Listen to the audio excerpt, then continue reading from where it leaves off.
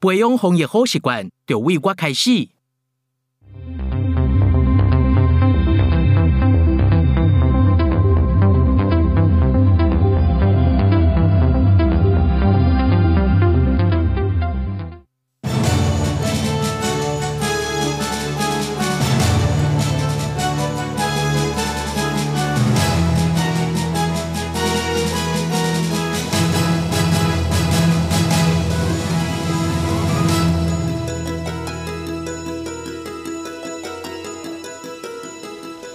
观众朋友好，欢迎收看今天的《有话好说》，我是叶明兰。在去年的四月，台铁发生死伤惨重的泰鲁格事故，而当时的罹难者家属呢，过去这段时间持续的呼吁政府要落实台铁的安全改革。就在今天下午呢，家属和行政院长苏贞昌见面，双方会后呢，家属表示，苏贞昌院长在。商谈的过程中呢，已经承诺了会进行改革，但是时间表并没有定出来哦。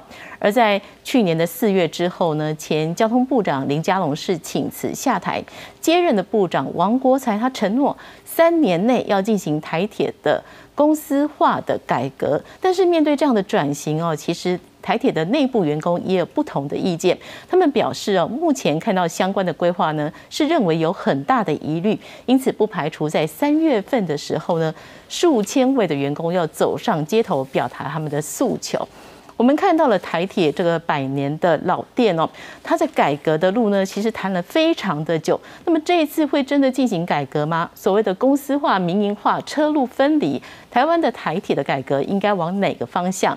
另外呢？政治会是改革之路最大的阻碍吗？今天节目我们持续的来关注，为您介绍四位来宾。首先欢迎的是前台铁驾驶协会理事长苏瑞丽。主持人好，各位观众大家晚安，大家好。是继续欢迎台湾铁路产业工会秘书长魏玉玲。大家好。是也要欢迎消基会交通组召集人李克聪。大家好。继续欢迎的是泰鲁格号罹难者家属委任律师陈梦秀。是主持人好，各位观众朋友大家晚安。所以，我们首先就要来看到，今天下午呢，在刚刚呢，其实呢，罹难者家属和苏院长才进行完会面啊，双方也有各自出来啊，表示呢，这场会面呢，其实苏院长有做了一些改革的承诺，相关的内容是什么？来看下面的 VCR。手里握着白桔梗，藏不住对亲人的思念。泰鲁格号出轨事故，多名罹难者家属十号来到行政院和院长苏贞昌面对面对话。在这十个月跟台铁沟通的过程中，我们挚爱难行，很多事情都无法推动。很谢谢今天苏院长，呃，愿意聆听我们的心声。让我们提出的诉求才能有一点点的前进。不止早上苏贞昌，交通部长王国才也到场听取意见。只见台铁大小事不断，家属们关心的台铁改革进度却迟迟不见转型。院长有肯定这些诉求，但是在对于承诺部分。我们还是听不到明确的一个方向。百年台铁看在家属眼里，制度僵化，提出组织改造、公开改革、提升等四大诉求。但经过一个多小时的对谈后，虽然苏院长允诺改革，但家属表示，政院仍未给出明确时间表，只有说在持续沟通。转述一下院长在这一个过程里面，他开场的致辞：我要做这件事情，台铁改革的事情，请大家给我更大的动能。今天大家讲的这些话，就是给政府往后可以再改的部分来做。向罹难者家属致歉，孙昌承诺会跟家属站在同一阵线，誓言推动百年老店改革。但台铁改革讲了多年，成效如何？各界持续关注。记者传讯谢振林，S N G 小组台北报道。是我们首先请教一下律师哦，在这场的会面当中哦，到底苏院长他所做出的一个改革承诺，我们看到的是政府的诚意吗？呃，是，呃，我想先说明一下，其实家属今天每一位都拿着这个白色桔梗走进了行政院。为什么？我们其实带了四十九条，哎，四十九朵桔梗走进去行政院，因为桔梗它其实代表是无尽的爱。我们每个家属都带着他们的家罹难者来到了现场，然后我们不要遗忘他们，台湾社会也不能遗忘他们，他们每一个。的生命其实都应该要写在无论是台铁的历史上面，或是台铁的铁路史上面。那为什么？为什么我们其实家属会今天跟院长来见面？其实这是我想从去年四月二号事故发生之后，这一度家属一直感受到的是台铁的问题，以及是说政府各种没有诚信的状况，包含无论是跟台铁和解的部分，又或者是跟交通部来对谈有关于是台铁的议题，都一再的感受到就是没有诚信，也就是一个信用破产的状况。那可是家属所期望的就是这样的遗憾不要再发生任何人身上。他们真的不是为了自己而站出来。所谓的我们四项诉求，都是在诉求一件事情：不要再发生这样的痛苦在别人身上。那包含了我们讲的是一个是保留现场车厢在事故现场以及教育中心，这就是要让所有台铁员工警惕这件事情。这家属想了很久。不要立碑，不要立什么这样子纪念性的东西。要做就要做一件事情，是让台铁员工有感觉的事情。这是第一个部分。那第二个部分，我们诉求的是台铁组织的改造。我们始终没有提出来说国营化，或者是说民营化这个，因为这个。主要的呃一个权责还是在政府，政府有资源，政府应该要来解决这个问题，然后应该要是把这个方案好好来处理。所以我们诉求是台铁组织改造，但是绝对不会是原本的所谓的台铁组织。为什么？家属在这一路十个多月里面跟台铁往来的过程多么辛苦，台铁上上下下没有任何人可以好好处理家族，不管是和解的议题。包含了事故发生之初，五月丢给了家属片面的和解书，告诉家属说，如果你没有签，六月就不能再签了。然后包括了是说，一个恳谈会出了这么大的事情，应该要跟家属好好来对谈的事情，处理很多议题。一个恳谈会是家属求来的，一次一次的诉求，所以我们觉得这绝对不会是在原本这个组织可以让台铁真的变好。那所以一定是一个完全不一样的组织，只是这件事情我们愿意是国家来承承担这件事，也必须是国家承担。那这是我们第二个诉求。那第三个诉求部分，也就是说，其实我们都知道这件事很困难，我们也把过去所有失败的经验一项一项列出来自己看过。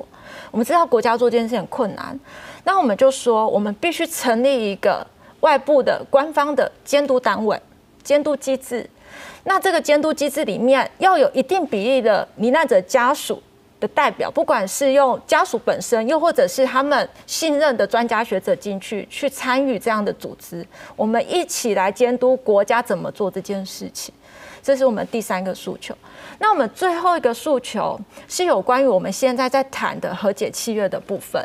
这件事情其实是家属有在今年渐渐看到了，就是国家有愿意重视这件事情，所以我们在今年的呃一月十二跟一月二十六的时候，我们分别跟台铁比较对等的来谈家属跟。台铁之间这个和解契约怎么处理？那我们现在谈到这里，我们其实遇到一个瓶颈，最大的瓶颈应该是两个，一个部分就是我们要在这个和解契约里面纳入当事人，不只是台铁，我们还要纳入交通部。大家会觉得很奇怪，又不是交通部，因为家属最在意的事情真的不是赔偿，也不是那些条款，他们最在意的是事情不要发生，所以要组织改造，所以他要交通部承诺。组织改造的进程是要纳进合约里面的，所以我们的当事人要有交通部。那另外一个瓶颈是，现在是赔偿的部分，我们一再的重申，家属们要更多，但是台铁得要赔更多。为什么这样说？因为在泰鲁格事件发生前三年的时候，是普悠马事故。普悠马事故的时候，其实死伤死亡人数十八人。赔偿之后，赔偿当时就是赔偿一样的金额。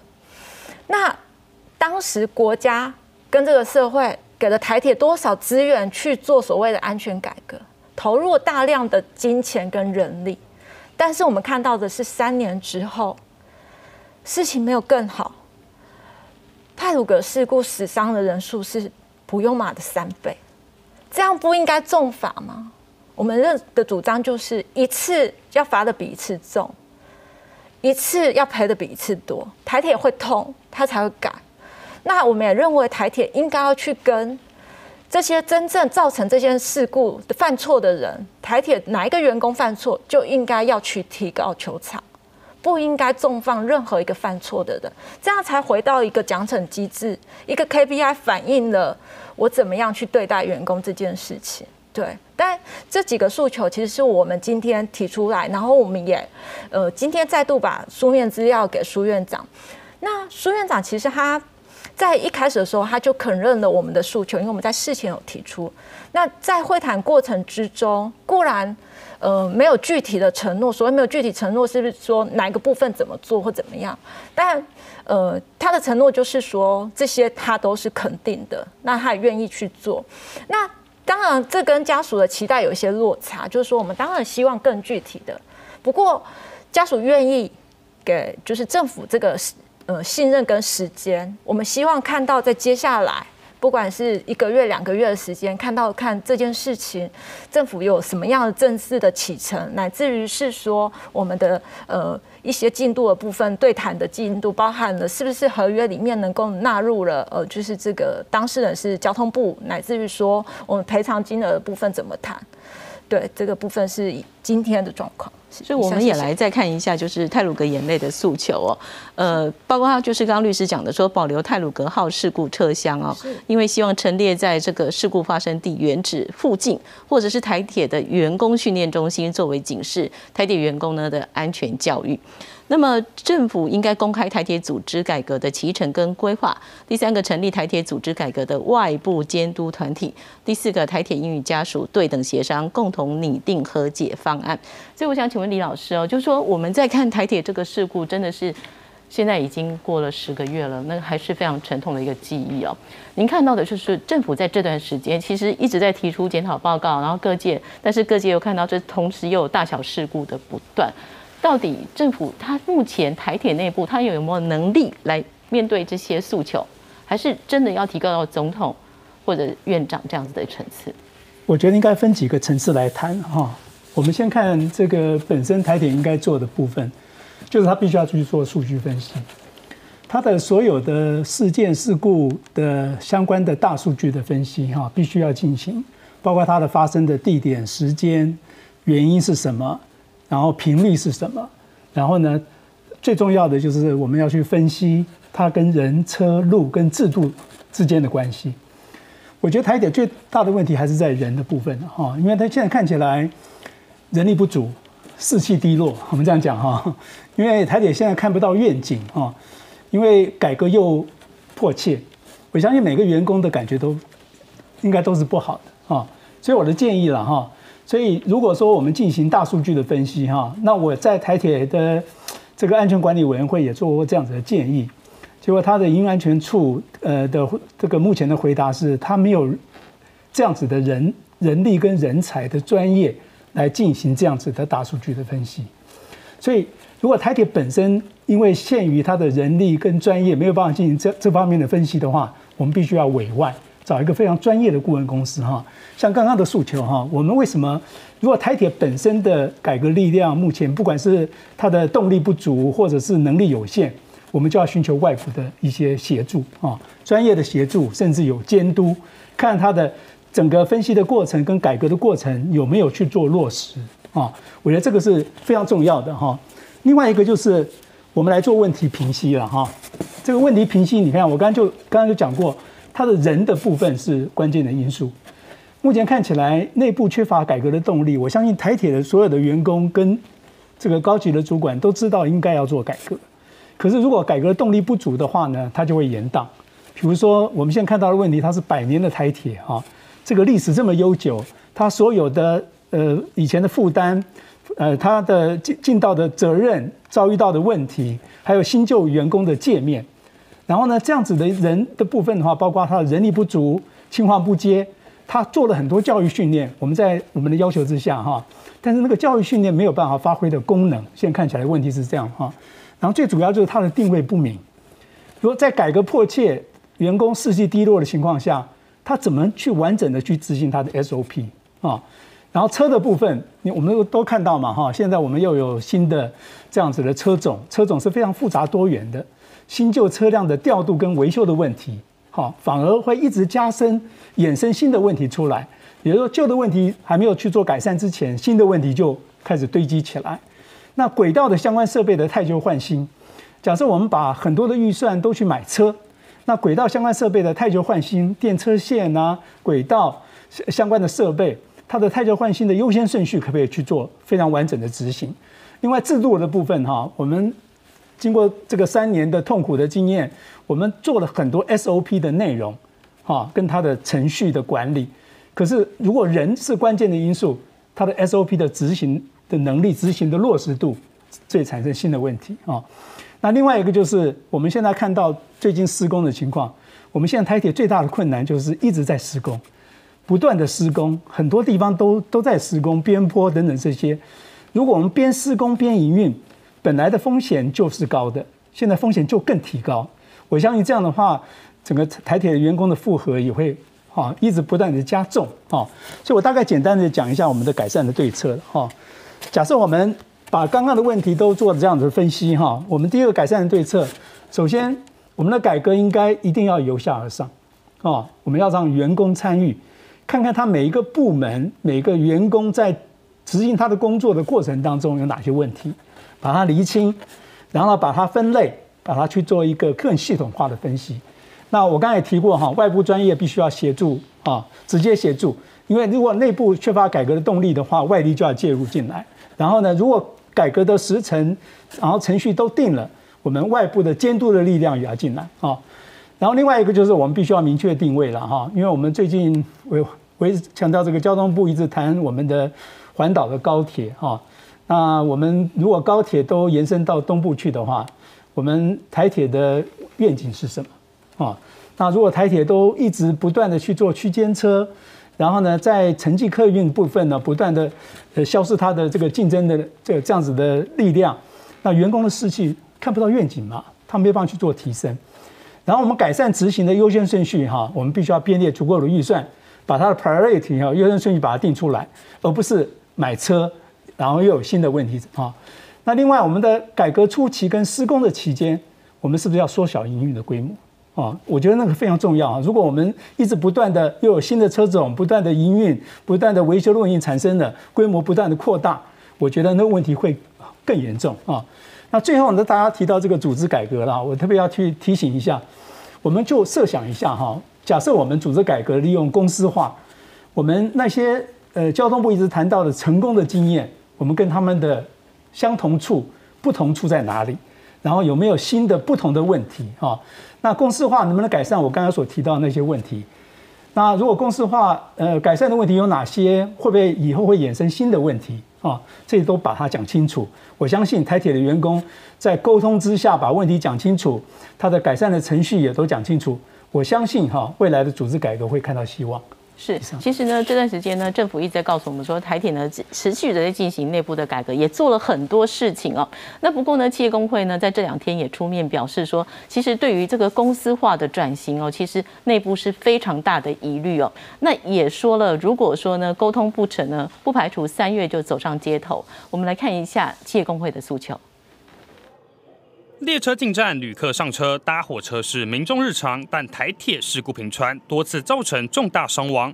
台铁改革成为交通部施政重点之一，喊了多年的台铁公司化，力拼在后年上路。八号，部长王国才还与台铁中部员工座谈，但是不少同仁依然抱有疑虑。你整个债务不处理的话，你要。要提公司化，你让他的员工没有可能信任感呐。未来如果他坚持要走的话，我们不排除集体休假。台铁公司化引发台铁企业工会不满，强调不是反对改革，但不能理解公司化的目的。而受到疫情搅局，原本二月二十三号要到交通部抗议，由于各地报名参与员工高达三千七百多人，考量二级警戒有机会人数限制，工会宣布包围交通部的行动将延到三月。如果交通部仍未提出完善配套，不排除会展开罢工。他们总担心说公司化之后，第一个对台铁他们信赖的台铁发展会受限，第一个对台铁的工作团队利益会受损。但事实上，这些都经过多次会议，然后有严密的一个规划，有一些配套。另一方面，去年发生的台铁泰鲁格号事故，死伤惨重，罹难者家属期盼台铁能落实改革，以防悲剧一再发生。在沟通十个多月，终于与行政院长苏贞昌约定好在十号会面。家属这边主要几点诉求，一个很重要的就是说台铁组织改造。对，因为，呃，一个僵化的组织，一个就是它已经没有活络生命力的组织，其实它是不可能改变的。不但诉求组织改造，也呼吁台铁公开改革其程，并建立外部监督机制，还要保留事故车厢作为示警，不要让改革原地踏步沦为口号，必须下定决心落实执行。记者传讯谢振林台北报道。好，家属呢跟苏院长的见面呢是在今天下午呢已经完成了。那我们来看一下呢，工会对于台铁改革他们有什么样的看法？企业工会呢是理事长是表示说，不是反对改革，是无法理解公司化的目的究竟是什么。然后说呢，交通部一再拿台铁跟中华邮政等公司比较，其实并不公平，因为台铁的债务无法清零，土地资产没有办法留下，员工对未来就没有希望。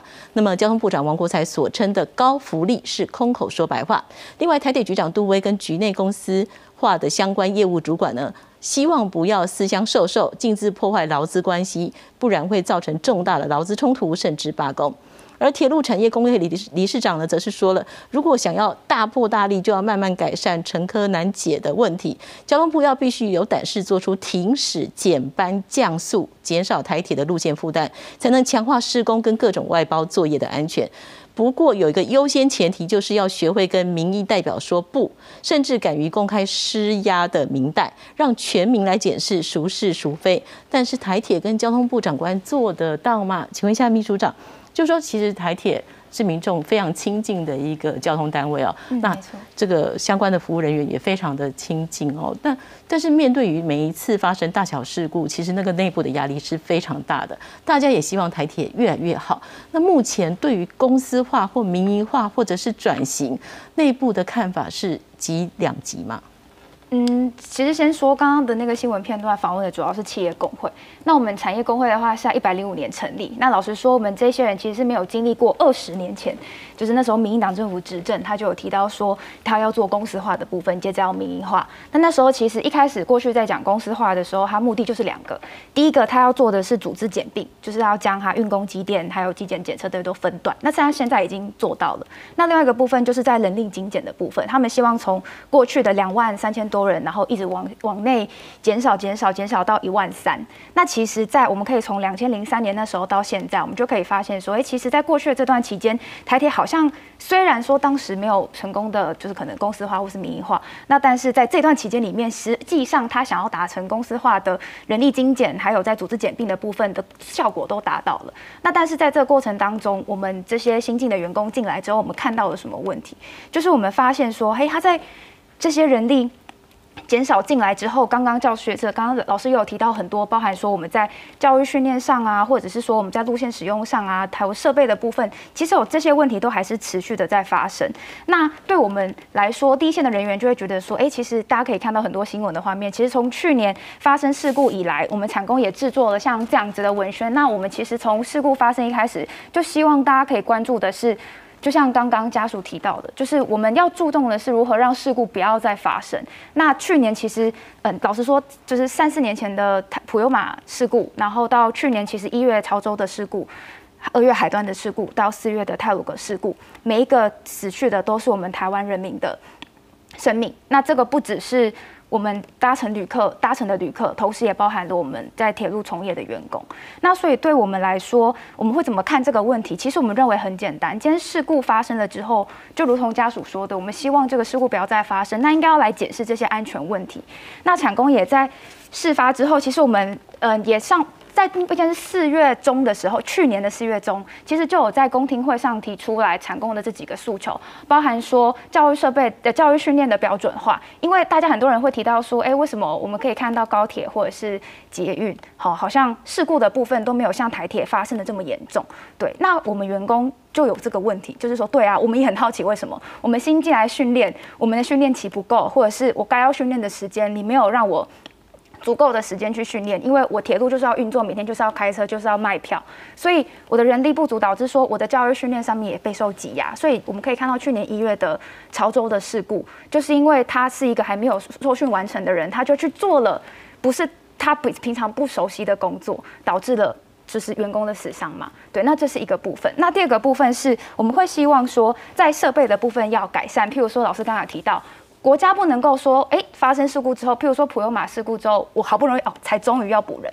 我泰鲁格事故过后，好，我已经说好要买车。那这些车子能力进来之后，你有没有足够的时间，或者是你有没有认真要去解决，就是你车子进来等等的这些问题，以及好，那实际上发生事故的问题，真的是因为换了车就不会发生吗？其实不是啊，还有它背后很多安全上的问题。所以其实我们也提到了，要留住。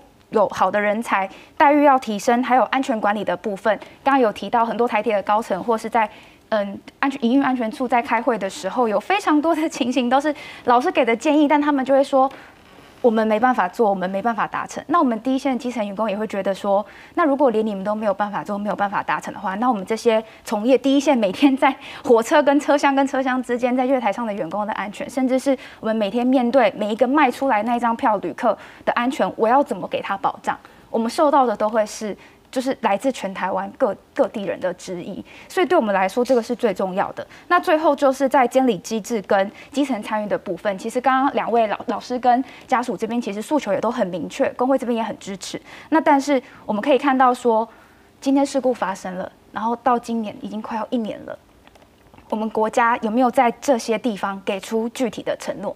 还是说他们讨论的东西都是别的问题，解决负债还是什么其他的问题？对，那这个是工会这边会比较质疑的。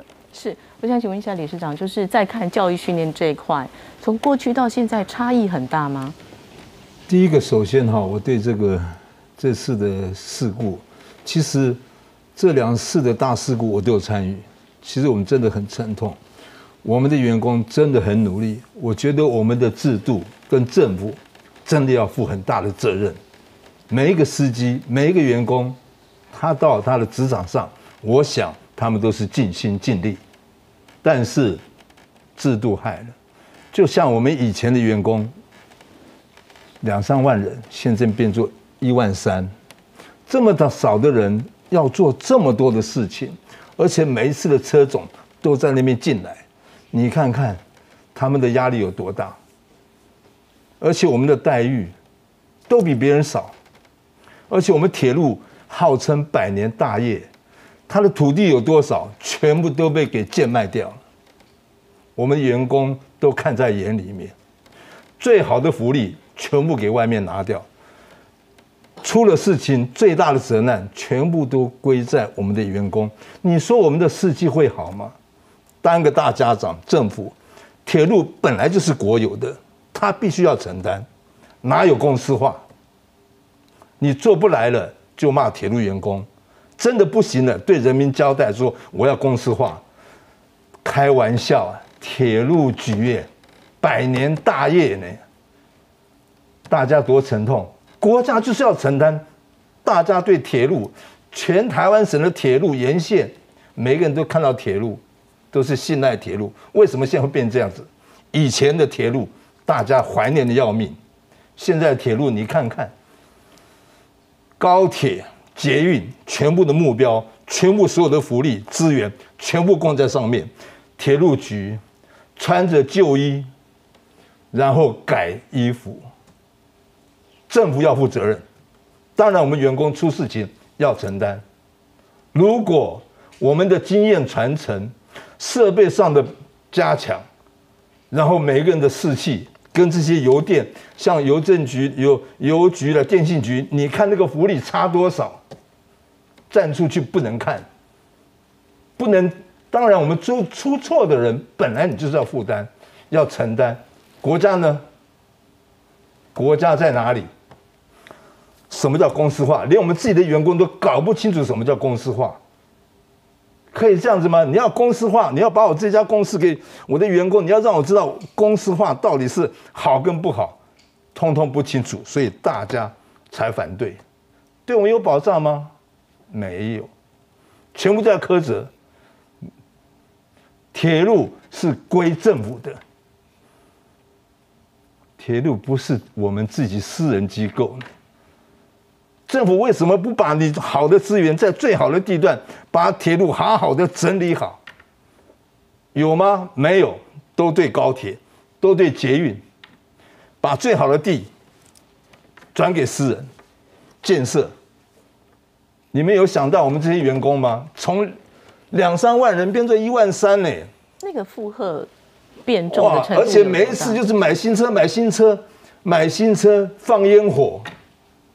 我们员工老的车、原来的车子还没有适应，又要适应新的车子，经验的传承没有了。大家都是讨好高层，那高层的人有没有照顾我们基层？没有。通通没有，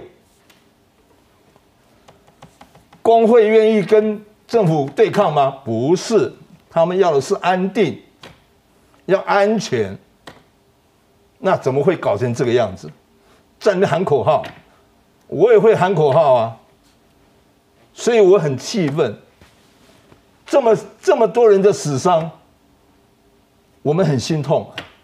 谁愿意？政府要拿出魄力来嘛？你喊了多少年了？还在那边家属来这边等了七八个月，再上来再哦，你再给你拿个陈情书，好好好，好什么？连一个对策都出不来，早就拿出来跟你讲，我们的诉求是这样子，结果给你们接下来没有给你承诺，在民间的话可以吗？一翻两瞪眼嘛，给你很多时间了嘛，政府可以这样子吗？对待铁路员工，对待我们的人民，不可以用这种鸵鸟精神，这样子铁路会崩盘，会闹国际大笑话。所以我在那边很沉痛的真讲：政府，政府，政府，人民有人民才有政府，不要再糊弄我们，把我们铁路局百年老店。把它给做的风风光光的，我想我们所有的员工愿意拼命。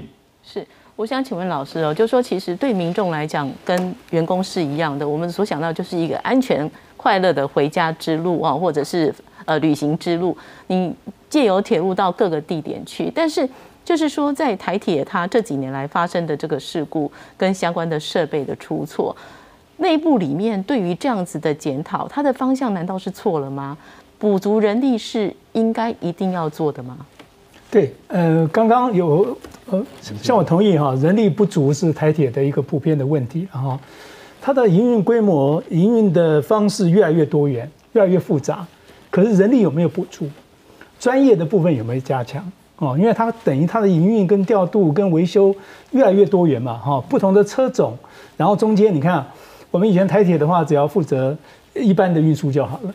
现在它负责捷运化，啊，区间车，然后呢，也有普通的一般的城际的这样子的一个一个一个一一个轨道运输。那轨道运输的话呢，我们也要看，如果要跟高铁竞争的话，它势必要只停小站，不只停大站，增加它的行车速率才可以竞争。可是台铁做不到，因为外部的干涉力量太多了，每个都要求我们希望。任何的新的普悠马号、泰鲁克号都可以停我们这个站，那这么外部干涉的力量，就让慢慢的台铁的专业就不受到重视了。它本来应该有的营运模式，不断的都被复杂化，那问题就越来越多。可是呢，相对问题如果越来越多元、越来越复杂，相关的人力跟这个专业有没有办法去跟上来？我觉得台铁的问题主要在这一方面。是。呃，或许律师就是根据你们这几个月来跟台铁这个沟通的过程里面，我们看到他们对于所谓的安全管理这一项，他的态度是呃是是真的非常的谨慎，在处理每一项细节嘛？这我真的会就是想要笑出来，就是说，其实讲到了，好，我们讲光回到了泰鲁格事故的发生现场，台铁的员工怎么跟李义祥就是那个。呃，包商说的，我们大家都知道，四月二号是暂停施工日。你想在当天施工，台铁知不知道这件事情？知道。潘唐义是那监工，就是台铁的员工嘛？他在事前就知道李想要做这件事，他跟李义祥怎么说？你别走，你得走，我动作不快点。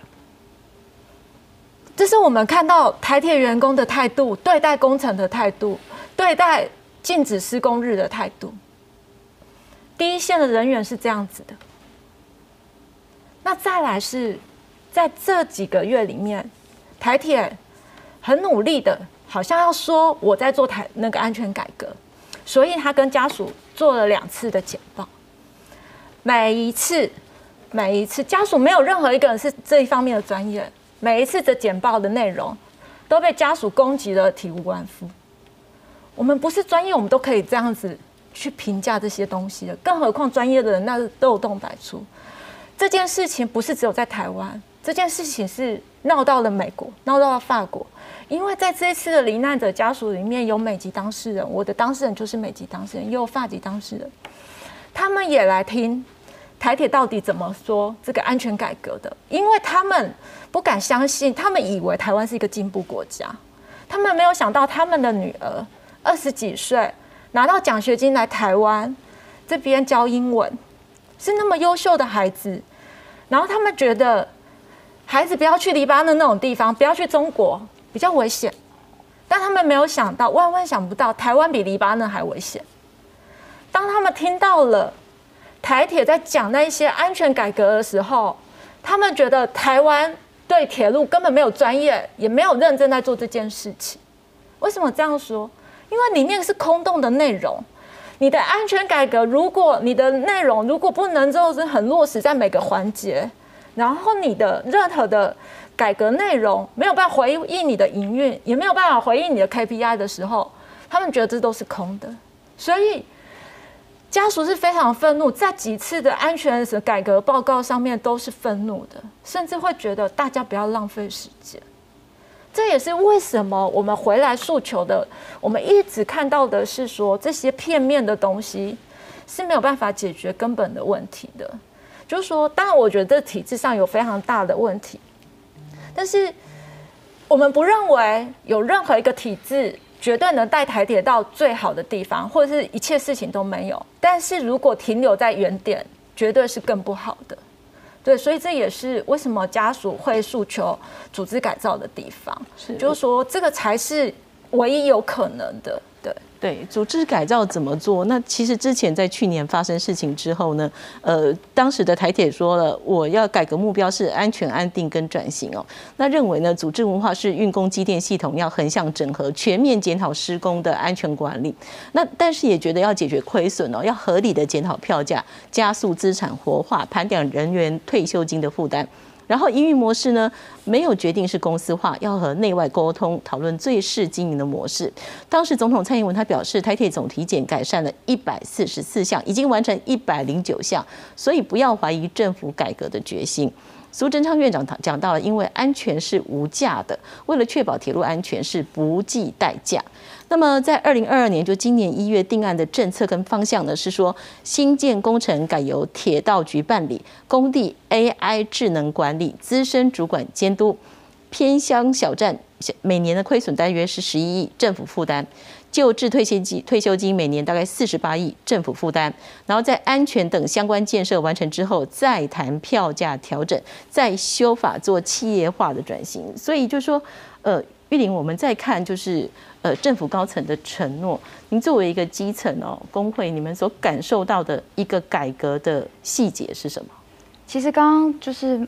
孟秀律师在提到说，就是台铁在提出那些安全改革的诉求给家属看，大家都真的忍不住笑出来的时候，其实员工也真的是觉得很无奈。就是说，刚刚老师有提到最大的问题是人嘛？对我们也很好奇，就是这些能够把这些很空洞的安全改革提出来的这些高层，到底在想什么东西？我们都觉得在上面看到的那些安全改革，包含说刚刚提到的 AI 什么，怎么好像基层很陌生？就你会觉得说，好像上面。做说的东西、承诺的东西，其实第一个是低线基层都并没有落实到，或者是我们低线基层要求，哎，反而应该要改的东西上面也没有听进去。所以为什么老师刚刚会提到说，其实这个改革应该要是要由下往上的？那刚刚有提到说，其实横向联系的问题，老实说，在我们去年二月的海端事事故，大家就会觉得说，哎，这是不是横向联系的问题？所以台铁也因为这样的关系，他就很着急的在。嗯，事故发生之后，五月就成立了就是协调中心。但是那时候我们工会也有出来，产业工会出来开记者会，询问说：那请问你没有把人要执行的这个 SOP 的标准，让它是一个跨部门的处理模式，还是停留在单一部门，或者是还有一些可以让大家有同一个做诶同样维修的一个东西，它有很多种做法都可以执行的时候，那你要如何让？我们第一线的人，或者是说这些到时候在处理旧责的时候，你要如何能够让每一个单位都上紧螺丝？那这个就是我们认为的，就是说横向联系其实不难。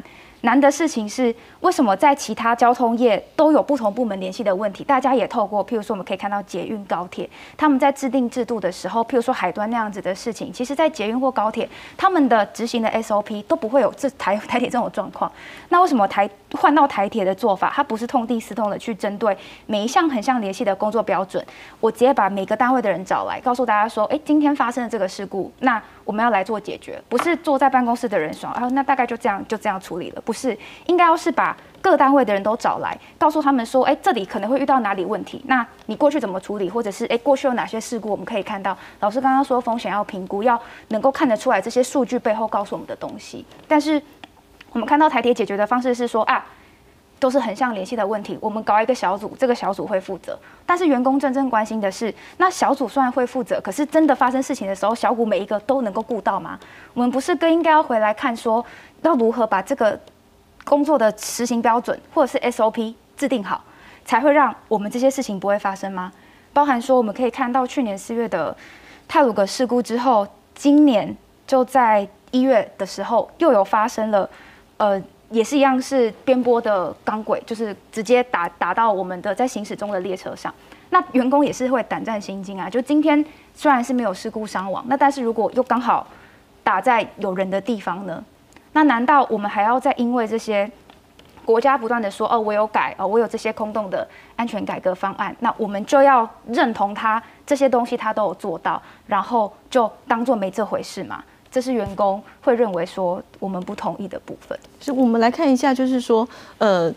之前啊，在五月的时候，那时候新上任的交通部长王国才，他说到了组织改革才是安全的根本。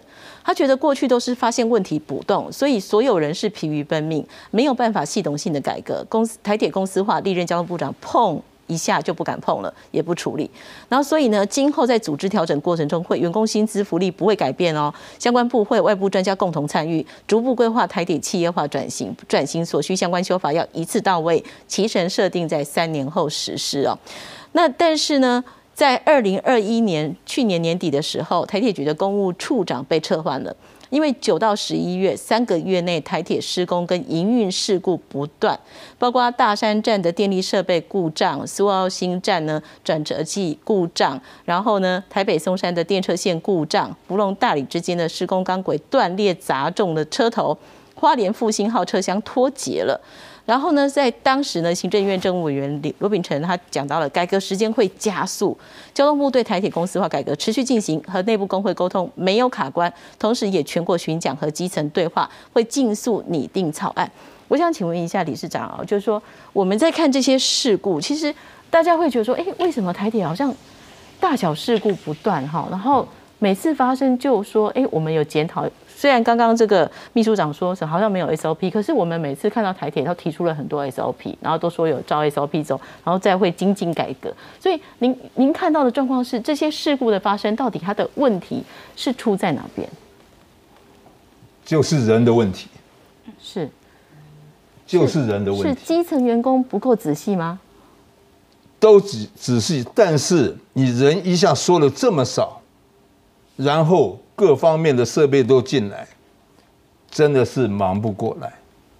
所以，我们铁路从日本时代这样经营下来，你看哪有大事故？就是人嘛。因为我们的基础建设跟设备不是高铁，它是单一的那个路线。旁边有民房，旁边有山坡，旁边有河流，天崩地裂什么，我们不是说用机器就可以处理的。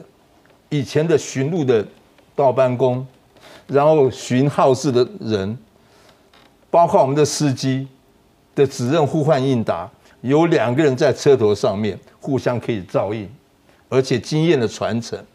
现在没有，每一个人进来的司机员身上就一个电脑。或是一个手机，OK 了，他就可以了。碰到事情，垮了。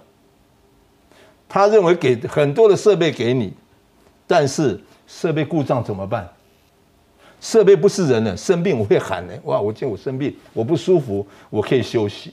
机器出去好的，中途一挂的时候，试卷变瞎子。然后每一个主管。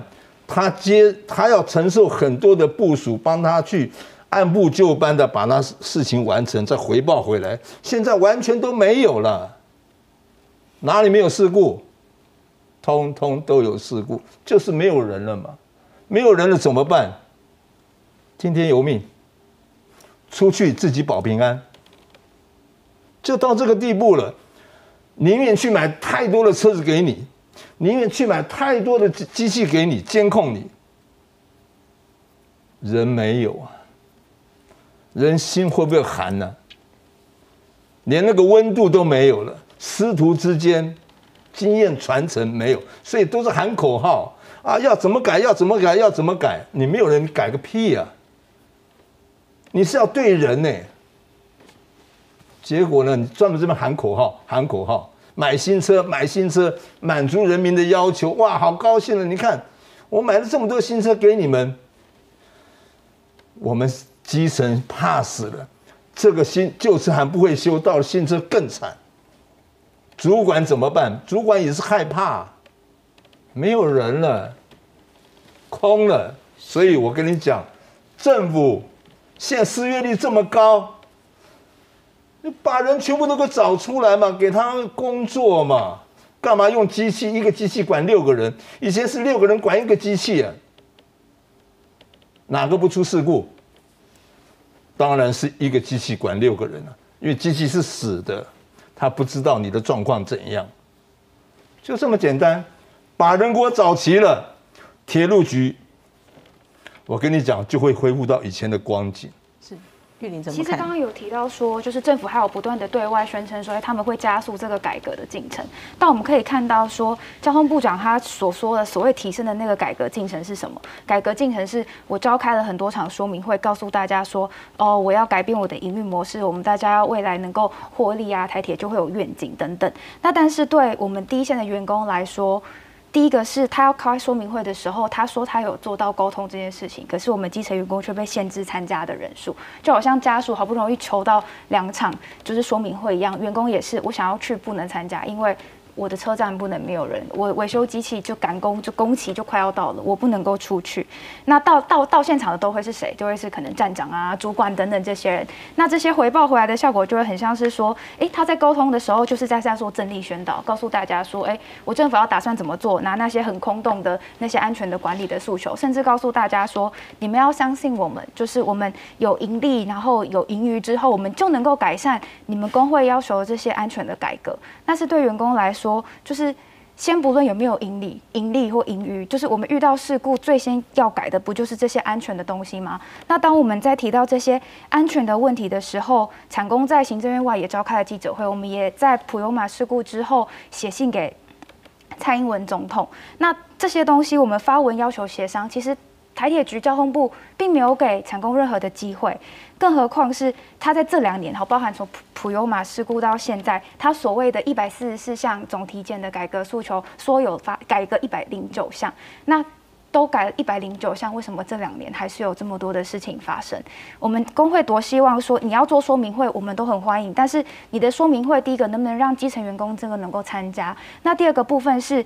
你要跟我优先跟我说明的沟通的这些内容，难道不是你所谓那些安全改革的那些项目吗？是不是我们员工在执行当中，大家觉得有落差的地方，我们反映第一线的问题给你？因为过去我们反映过无数次，但是这中间的体制让我们的声音没有办法传到有能力做改变的人身上，所以对我们来说，我们就会很好奇说，那这些沟通到底只是要给外面看，还是是说？你是真心的想要来从台铁内部由下而上的来做这些改善，对。那再回到另外一个点，就会是说，其实我们会发现说，刚刚提到从过去的这个公司化的议题讨论到现在，老实说，普悠玛事故之后，台铁某种程度上有做了一个逆公司化的操作，包含刚刚提到了普悠玛事故之后，在过去一直都是人力精简的状况，减再减，所以发生很多事故。但直到发生普悠玛事故之后，诶。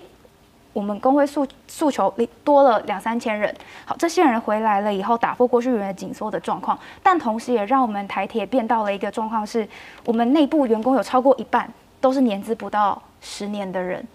那这些人他能不能够在过去我们的铁路的这些教育训练的制度，或者是这些嗯训练的体系里面，能够做到过像过往一样严谨的这些内容？我们是要手把手的教，还是说我们真的能够像刚刚提到的，打破各个职种之间，我们来定定一个最好的，就是执执行的这些操作的守则？我们产业工会其实过去有参与普罗玛事故调查的的。运安会的这个调查会议的协助的部分，那我们就会发现说，很多他对外宣称有做的事情，我们看新闻也知道，就是他说有说的事情，其实在基层执行起来好像都不是这么一回事。那我们就很好奇，我们把基层这些问题反映上去之后，到底有什么东西是可以错得解决的？那如果说我们现在呃一昧的讨论到的东西，都会是要把。我们的成本外部化，譬如说，我们为了要财务改善，所以我们只看到，因为我们去说明会都只听到说我们要改善财务嘛，改善财务就能改善安全。那对我们来说，就会是，那我今天到底是一个公共利益，就是我要让我的安全正面的部分正正面外部性，还是说我要来回到说，就是呃，我要改求改改变我的财务改善，然后变成是说我的成本要外包化，那那这个就会是我们。员工一直内心会有的疑问，所以所以老师您观察到，就说其实确实政府在谈台铁改革问题，其实我们会看到那个呃负债是相当庞大的。那也说在现在旧有的体制里面，其实要做任何的改革都很困难。所以呢，呃，大家想到的方式就是不是公司化，就是公司化朝民营化。然后也提到说，是不是德国的那种车路分离，好像这样子才能够真正把台铁的安全问题。来做一个基本的解决，是这样子的概念吗？嗯，我觉得首先要台铁要面对他自己的问题了哈。他的问题如果先分析厘清之后，我们再来看目前公司化能够改善它哪些问题啊？比如人的问题，好了，专业的问题，公司化之后我们怎么样来改善啊？那另外，如果你公司化或者是企业化、公司化，甚至将来要民营化，你怎么去做到？你的车路要不要分离？建设的部分跟营运管理的部分要不要分离？哦，债务的部分要怎么样来做承担？这个都要讲清楚。我觉得公司化的话，如果对我们的台铁的员工这方面去讲得很清楚，我们将来要怎么公司化，然后呢可以改善哪些问题？但是呢，可能也会衍生新的问题。如果我们参考不管是中华电信或其他的这样子的一个这个公司化的模式，它的异相异之处会在哪里？新的挑战是什么？都把它讲清楚。我觉得，如果面对问题，把我们改善的策略都讲得非常清楚，我觉得才是一个真正公司化的开始啊，迈向这个公司化的可能成功的开始。可是现在政府都还没有讲清楚。是，那在安全改革的部分，您看到台点它目前做走的方向是对的吗？我我刚特别去提到哈，首先你要面对问题嘛，问题是什么？一定要经过一个完整的数据分析。其实它的事件非常非常多，这个每个月事件非常非常多，大小事件。如果每个事件都很清楚，按照我刚才讲的做一个大数据的分析，究竟是人的问题有哪些，车的问题有哪些，路轨道的部分有哪些，SOP 制度的部分有哪些，然后去做一个完整的数据分析之后，去厘清，然后对外说明的时候才会有说服力。不然你如果现在让台铁的任何一个一个单位去说明他的问题的时候呢？都不具说这个任何的说服力，为什么？因为他没有去做完整的数据分析，把他的问题把它厘清之后，我们再来看他的改善策略。那改善策略都出来之后呢，我们再来看看这些改善策略的对应的方式，公式化究竟可以改善这些问题的哪些？如果公式化可以改善大部分的问题，然后把它讲清楚，我相信应该会得到大家的支持。是，但是这个问题已经很多年了，已经超过十几二十年。那为什么到现在，其实好像我们觉得这个还是一个很混沌的一个一个状况呢？对，因为我我我，因为我现在是台铁的安全管理委员会的委员哈，我进到这个委员会之的的时候，第一个的感触就是台铁居然没有去做一个完整的数据分析。那你如果没有做一个完整的数据分析，你怎么去说明你的问题的重点在哪里？如果问题的重点都没有办法说清楚，你改善的策略一定不清楚嘛？哦，所以他才会有一些非常自式化的一些说明了哈。比如说，我们的问题就是因为每次出了问题找问题，那为什么出了问题你你没有找清楚它的原因是什么？然后能不能对症下药？如果不能对症下药，原因是什么？困难是什么？如果需要外部的专业的协助？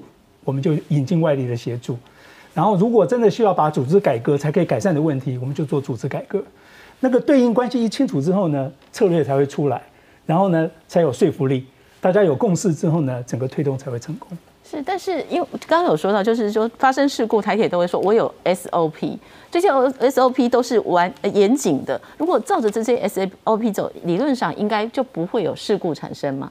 没有，我刚刚特别去讲哈，刚刚秘书长也特特别提提到台铁的后来制定的 SOP 很多，但是呢，SOP 可不可以跨不同的部门、运工、机电共同可以去做一个完整的 SOP？其实并没有，每个单位都有它的 SOP，可是它的 integration、它的整合的部分做的不好。那为什么做的不好？就可能就牵涉到说它的本位主义了。运工机电本身就有本位主义，每个单位都制定了自己的 SOP，但是如果没有整合的话，任何一个事件发生了，都是跟运工机电都有息息相关的这个界面问题。如果那个界面的问题没有厘清的话，那个 SOP 的执行的能力哈，这个是大受呃，就是它的折扣就会非常非常的大。然后每次出问题就是 SOP 执行的不够完整彻底，主要是这样。所以 SOP 这件事情在员工的一个基层执行，其实它是有很大的疏漏的。对，其实员工工会最关心的就是安全，还有内部高层官僚文化的问题。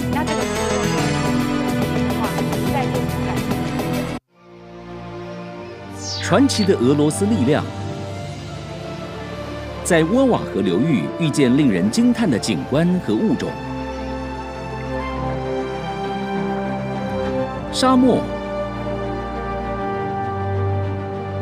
草原。